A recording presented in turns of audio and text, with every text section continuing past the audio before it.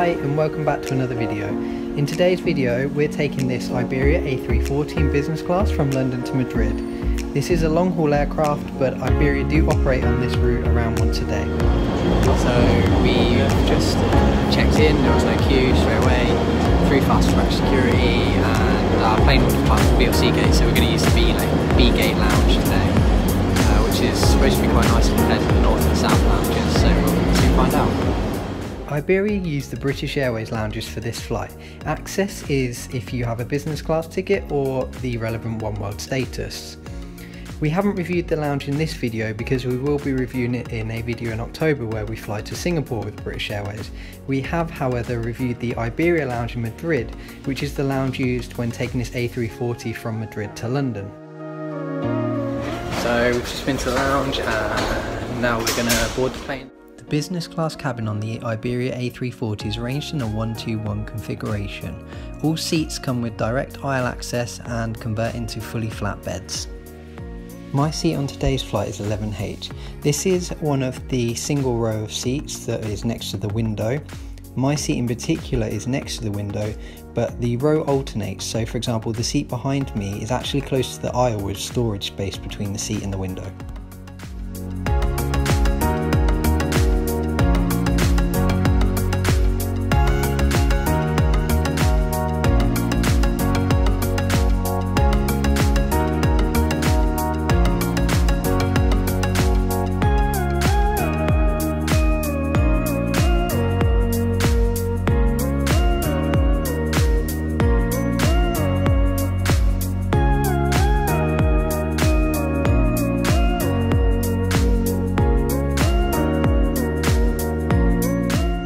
Let me show you around the seat on this Iberia A340. Directly in front of the seat is space where you can rest your feet and directly under this is an empty space where you can store shoes.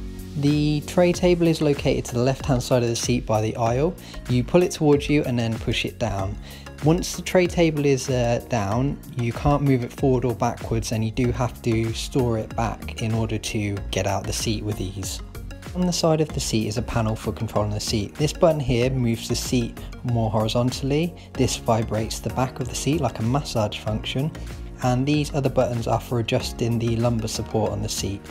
And these buttons here can directly put it in bed mode, take off mode and recline. There's two more buttons to do the reading light and a call bell. On the side of the seat is this remote control. It pops out and is used to control the in-flight entertainment screen. You can simply navigate through the menus and choose what you want. When watching something, it also changes into a more handy display where you can simply control the volume and brightness etc, which is quite a useful feature. Additional storage space can be found on the left hand side of the seat. There's plenty of space for your drink and then two small storage compartments which you can fit like a camera in and your phone for example, uh, and that's where where you'll also find the headphones when boarding. And then finally there is a small reading light. Each seat also has an adjustable armrest which you just push in the button to bring it up and push it in again if you want to have it down. Underneath the armrest area is where you can find your USB and sort of other plugs for charging devices. The in-flight entertainment screen is fixed in position and next to it is a small hook to hang say a coat on.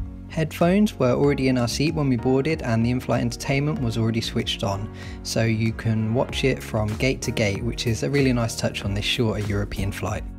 As mentioned early on, all seats in the Iberia A340 business class cabin are fully flatbeds as Jordan is demonstrating here. I also thought the legroom was ample, especially for the seats that are located next to the window. Shortly after takeoff, the crew came round and handed out menus. The food service and drink service and the crew on board were great, but the food honestly leaves a lot to be desired. To be fair to Iberia, this is not the food offering you would receive on a long haul flight, but it is miles off what you receive on British Airways Club Europe flights.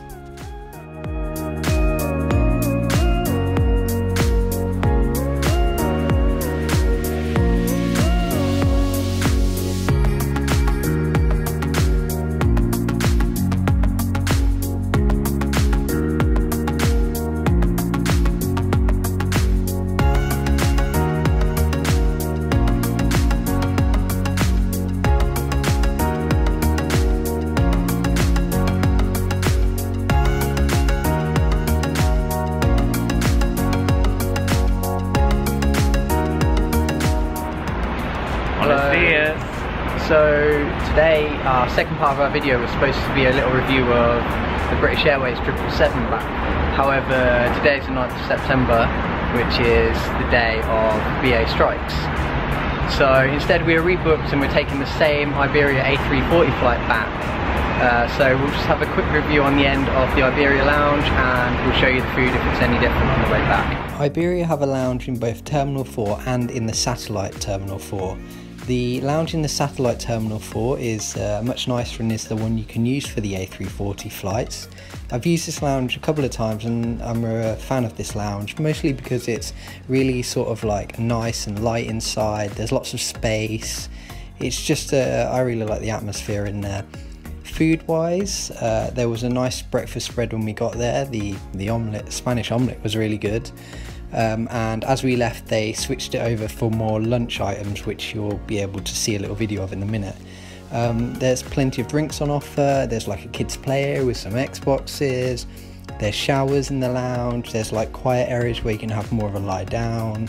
Um, compared to the, the British Airways Galleries lounge, uh, I much prefer this Iberia lounge.